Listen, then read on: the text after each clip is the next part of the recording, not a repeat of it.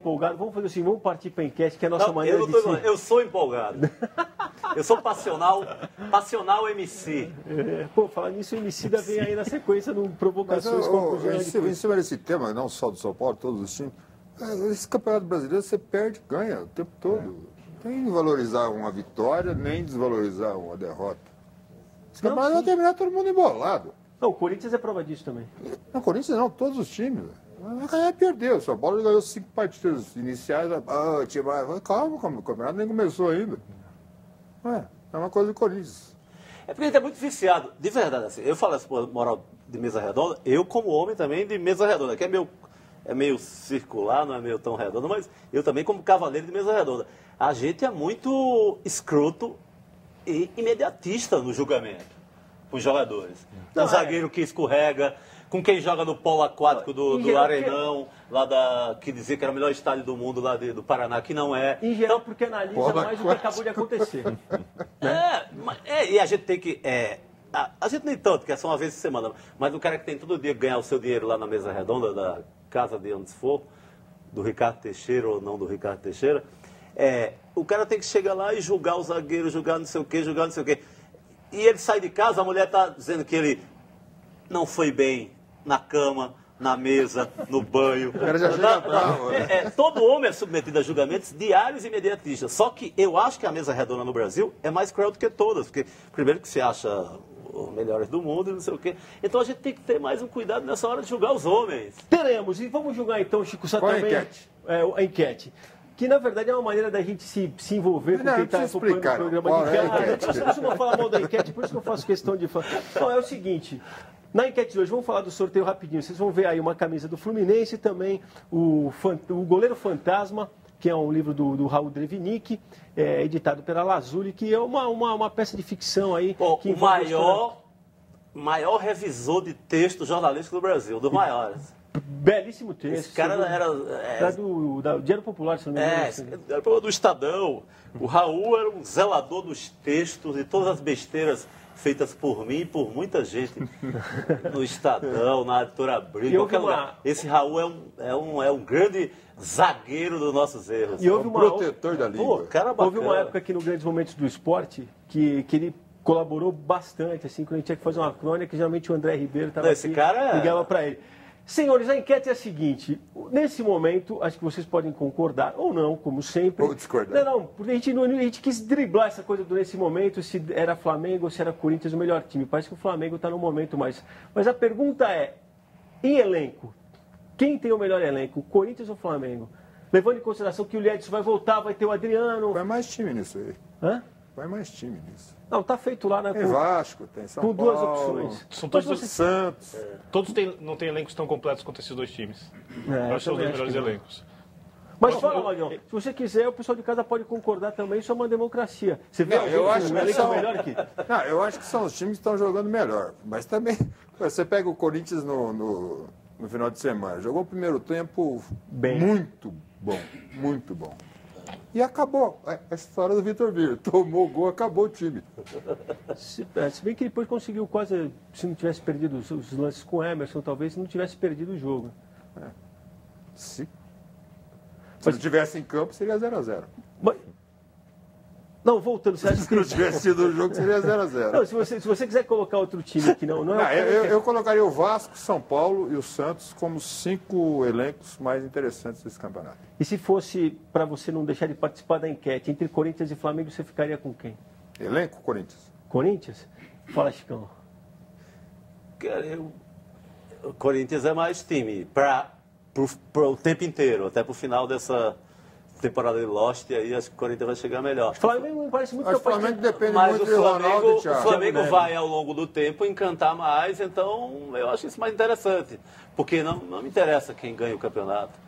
Interessa quem vai A ser mais. possibilidade de criação do elenco. A possibilidade. Não, eu acho que o, o, o, o Flamengo já está absorvido. O Flamengo já fez uma, sua cota no ano com, naquele jogo com o Santos. Como eu não sou torcedor e não quero que o Flamengo seja campeão, por mim já, o Flamengo já deu. Jogaço. Jogasse. Então, já cumpriu a sua história no Museu do Futebol de 2011. Ah, e tá Então, provocando um futebol bom também. tá, tá, tá jogando, tá chamando pro jogo, né? Tá... Mesmo assim, você é Corinthians.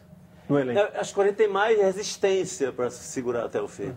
contando com a fragilidade dos homens, que eu amo a fragilidade dos homens. Então acho que o, os homens cariocas tendem mais a uma certa fragilidade em algum momento até o final do campeonato, das tentações. Isso me encanta como ser humano, não como torcedor do Flamengo. Principalmente quando o verão chegar. Sim. E não estamos no verão ainda, estamos no, no inverno É, carioca. Diga lá, Vitor. Eu, eu, eu acho que o elenco do Corinthians é mais completo, porque o Corinthians tem mais atacantes que o Flamengo. Agora, o meio-campo do Flamengo é mais forte, é mais técnico. Acho que o Williams é o maior roubador de bola que tem no Brasil. É o Ayrton marca muito do lado também, jogaria em qualquer time brasileiro. E na frente o Ronaldinho, o Thiago Neves e o Renato, que pode ser o volante ou o terceiro meia, foram um meio-campo muito forte. Que vai proteger bem a zaga e que vai alimentar bem também, vai alimentar muitas vezes o ataque. Então, eu não, então o time mais forte hoje, completo, completo. É, eu tenho alguma dúvida, porque o Corinthians tem um atacante lá que o Flamengo não tem. Se o David começar a jogar, é o Flamengo. Agora, elenco, acho que o Corinthians é um pouco mais completo. Fala aí, Rodolfo. Se tivesse que escolher um dos dois para enfrentar, quem que você acha que você. Porque ele falou do meio de campo, mas o Corinthians tem também um Alex que não está sendo Muito forte o como meio-campo do Corinthians titular, também. São os dois o mais fortes. que volta agora. E o Santos, se estivesse inteiro, seria o terceiro time aí para os três mais fortes do Não, o. Santos já ganhou até campeonato de tirar o patinho no parque, não precisa ganhar mais nada. Que Eu concordo com ele como o Corinthians tem o- um elenco mais qualificado, né? Tanto jogando como no, no banco de reserva, eles têm uma boa equipe. É mais equilibrado, né? Mais equilibrado. no É só pro ataque, por A exemplo. toa não tá em primeiro também, né? Agora, O Emerson está perdendo muito gol, mas só no ataque, por exemplo, o Emerson, o William, que é atacante meia, o Lietz e o Adriano.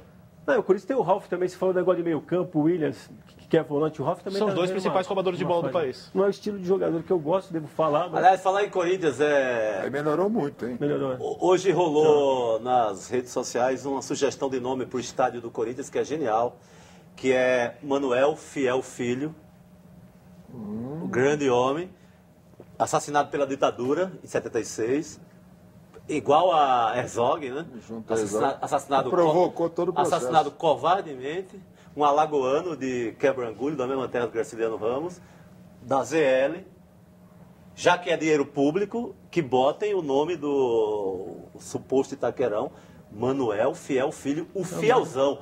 O cara, é, além de ser fiel, ele tem fiel no nome. Ah, realmente não tinha E ele é a história da ZL, é a história operária, proletária da Zona Leste de São Paulo. Via Twitter isso? É, Muito legal. é, é, é, puta, porque como eu sou velho, perdi a memória, é a sugestão do menino que me mandou hoje pelo Twitter, daqui, acho que o Lucas, não sei. Se a gente não acreditar, hoje, a gente acredita depois, Não, porque merece o crédito, realmente. Não, o não, tem Lucas, ou o que seja, daqui a pouco não tem, mas, pô, fielzão, Fiel tem velho. a ver com o Manuel, Fielzão. tem a ver com o Corinthians. Magrão, Manuel E com a Zona Leste, né? É, Tá. Magrão, Manuel Fiel Filho. Esse cara é, é- é- ele é, ele é, ele é a alma da- da- da- de quem sofreu na ditadura no Brasil. Não, tem tudo a ver. Tudo repetiram com o Herzog a mesma coisa com ele. Esse, é- ele- esse cara, e é o nome do. E é o nome da ZL, é o nome do Corinthians. Já que é com dinheiro público, que seja Manuel Fiel Filho. É uma maneira de pagar um pouco. Apesar de você o, não- o, o que, o que deve à história, o que o Brasil deve à história. Não, tudo é. Dá, apesar- e dá para estender isso para a estação do metrô, né? Sim, sim, sim. E a gente depois vai ver se a gente consegue acreditar. Bom, hoje à tarde a gente falava que o Adilson Batista amenizou as declarações dadas pelo Rivaldo, que ao falar com a imprensa tinha pedido mais personalidade aos jogadores do time do São Paulo. Adilson disse o certo, porque Rivaldo realmente tem uma condição para falar pela excepcional capacidade profissional que sempre apresentou. Adilson manteve o lateral direito Pires entre os titulares, Jean na reserva, e o treinador tricolor também minimizou as derrotas em casa e valorizou o retrospecto fora, coisa das quais a gente já falou aqui. Importante é manter a média, o aproveitamento, é estar entre os, os primeiros. Estamos ali a, a um passo de, de encostar no líder.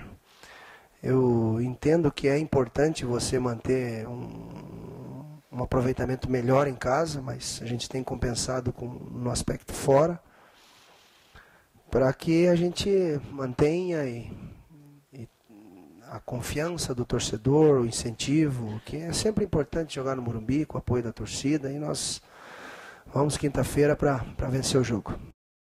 Ô Rodolfo, e o, o Rivaldo também citou uma conversa entre os jogadores para falar um pouco para os menos experientes, que a gente citava essa coisa de idade aqui, para que eles jogassem mais pro time. Como é que foi essa conversa? Ela realmente Então, o? Rivaldo e o Rogério já tem esse jeitão de, de mais. O Rogério tem o dom da palavra, como a gente, a gente fala lá. Então eles, você vê que eles conversam bastante com a garotada que tá subindo aí. Mas eu acho que todo mundo tem que escutar muito esses caras, tem muito o que passar, tem muito que a gente tem muito que aprender com eles. Eu procuro sempre estar do lado dos mais experientes ali para aprender. E eu tô 24 anos, já joguei várias partidas já. Então procuro passar também. Mas acho que a gente tem um grupo bom. Só falta encaixar, a gente tá só três pontos do líder, falta 25 rodadas ainda. Tem muita coisa para acontecer no campeonato. E a gente fazendo uma boa partida em casa agora do Bahia, todo mundo evoluir um pouco mais, der um pouco mais de vontade, você vai fazer um, um grande jogo e voltar seria, confiança. Seria ter mais personalidade. Não, o que, a crítica que o Rivaldo fez foi no, seguinte. Não, não, eu quero entender. É. O que, que seria ter mais personalidade? O, segurar um pouco a onda, não sentir tanto na hora que a Ninguém torcida... tem mais personalidade do que pode. Não, meu Magrão, tudo bem. Isso- Ué, ué, você não compra Magrão, Magrão, isso. é o que- Magrão, o- Magrão, Você não compra em Magrão, drogaria. O, o ambiente influencia. É, existe, eu vou dar, uma, vou dar uma, vou um exemplo para você. E aí eu acho que tem muito a ver com diretoria, com comando técnico, como, como é a coisa do dia a dia do clube. O Palmeiras, o elenco inferior ao do São Paulo. Quando o Palmeiras perde um jogo, os jogadores assumem a derrota. Quando o São Paulo perde um jogo, a culpa é do técnico. Isso tem acontecido há muito tempo. Quem tá? acusa o técnico? Ah, acaba ficando a culpa sempre na- nas Então, costas do é- treinador. É cultura. É- é- é- a, situação do, a situação do São Paulo tem alguns jogadores muito mimados lá. É muito confortável. É cultura do Morumbi, assim? Ultimamente para estar sim. Ser mimado. Ultimamente sim. Ser Entendeu? mimado? Não, teve a fase do Chicão, do Serginho, teve a fase do Lugano e tem que- essa fase de hoje. veladamente- Né? A vida é assim mesmo. Eu gostei da, desse. É, Deixa eu explicar o Magrão Três também. grandes advogados, O que- o que ele Lugano, falou, Serginho. é, a personalidade seria de não sentir tanto essa cobrança dentro de casa e está complicando um pouco a situação do time. E ele veladamente citou que os jogadores, por exemplo, o Lucas, teria sido dirigindo o Lucas, tentou resolver alguma jogada sozinho, segurou demais a bola, entendeu? Quer dizer, acreditar, manter aquele padrão de jogo que o São Paulo mantém antes de tomar o bendito gol que a gente tanto falou aí. Era mais ou menos nesse Bendito para você. Não, mas isso não, é- isso não é questão de personalidade, pelo contrário. Ué, na verdade, Bom, que fique você claro não, aqui. não inventa isso, Bom, cara. que fique claro aqui, Magrão, a personalidade de quem escreveu fui eu, não foi o Rivaldo que falou. Então foi só uma maneira de eu querer Então dizer. a pergunta dirijo a você. É. O que, que é Não, personalidade? mas o Rivaldo quis dizer isso, eu entendi. Não. Essa declaração. Eu Eu só, o eu só próprio Rivaldo, o próprio Rivaldo, assim. É, Mas você joga mais futebol, o essa é a verdade, que- é muito mais o simples que próprio isso. Rivaldo que eu amo não estava com personalidade quando o Carpegiani estava tava na cabeça lá, da, tava mandando no jogo. O próprio Rivaldo se arvorou quando ganhou força, inclusive porque nós Perfeito. damos, porque eu respeito e amo muito o Rivaldo e a personalidade dele, que é um pouco escondida, elíptica, meio guardada, e é um cara que às vezes precisa de muita provocação para poder existir, para poder ter uma certa moral para a guerra, para falar. O próprio Rivaldo, ele estava escondido na gestão carpegiana. Sim. Então, agora eu não sei Então, como- que diabo seria Co- como, é que, personalidade? como é que você encarou as, as palavras do, do Rivaldo? Você que está lá, você pode falar.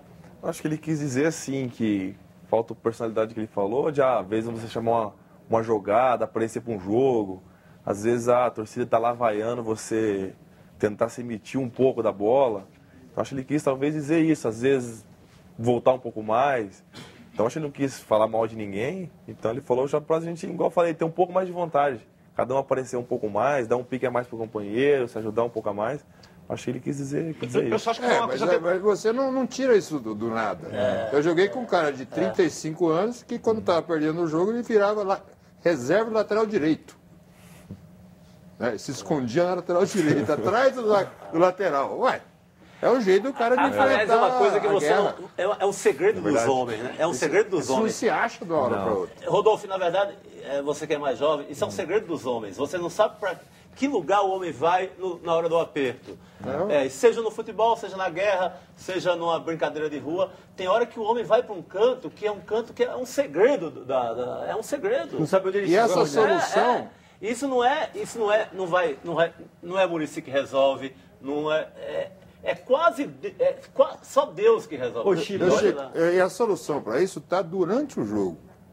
Nem antes nem depois, está durante o jogo. Peraí, tem, tem alguém se escondendo? Vem cá. Vamos jogar aqui. Agora, Magrão, Dois toques.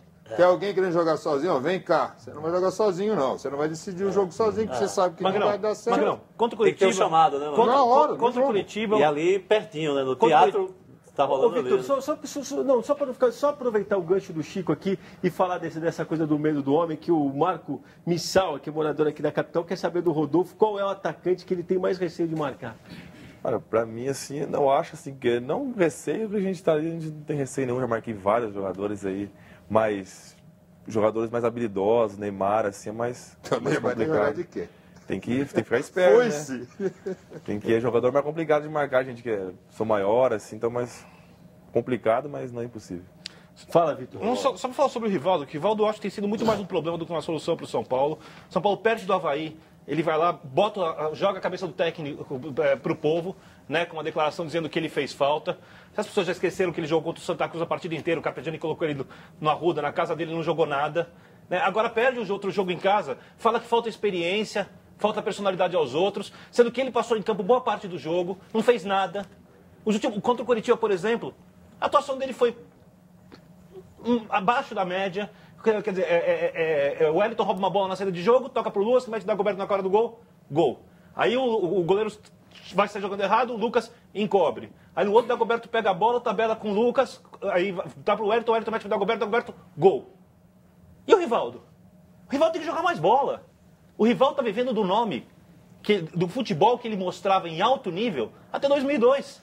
E, de- de- depois ele passou pelo Cruzeiro, pelo Milan, Então, foi jogar no futebol grego, passou três anos no Uzbequistão, chegou com 39 anos no São mas- Paulo. Mas, eu não sei até que ponto você não está sendo cruel nessa Não, análise. quando o aí, Rivaldo, e o Ma- o Vitor? Rivaldo e o seu Marlos, que é o outro também, é o, tá no mundo do quase, quando esses dois jogam, o São Paulo é outro time. Vem contra o Cruzeiro. Contra o Cruzeiro, o Rivaldo jogou muita bola. Foi o jogo, foi o o, que jogo o do São Rivaldo. Paulo, o que o São Paulo esperava do Rivaldo?